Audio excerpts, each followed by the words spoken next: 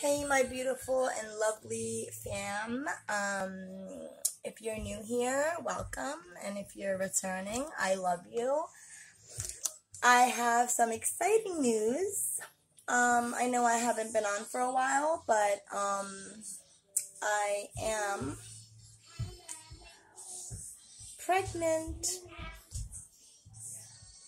You guys, I am pregnant and I saved this just to make this video. Um, of course, I went to the doctors and made sure. So, yes, I am uh, positively uh, pregnant. Um, definitely wasn't ready or planning this at all. Um, and I wasn't planning my first son either. Um, he was a gift from God, just as this baby is, and I accept the gifts. Um, and I'm just super excited. I couldn't hold the news in. Um, I guess I will um, let you guys um, know how the pregnancy goes. I'll keep you guys chimed in.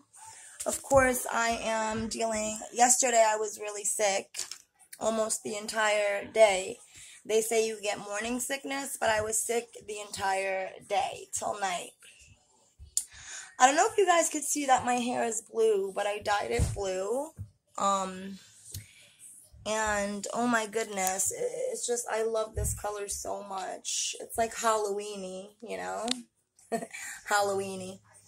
So yeah, guys, um, I'm still not done with my teeth, uh, with my veneer journey either. These are still my temporaries. Uh, I just ate and oh my god, they just look so gross from close. But the temporaries are gonna nothing like how you know the veneers themselves are gonna look. Um, as far as my dentist uh, told me.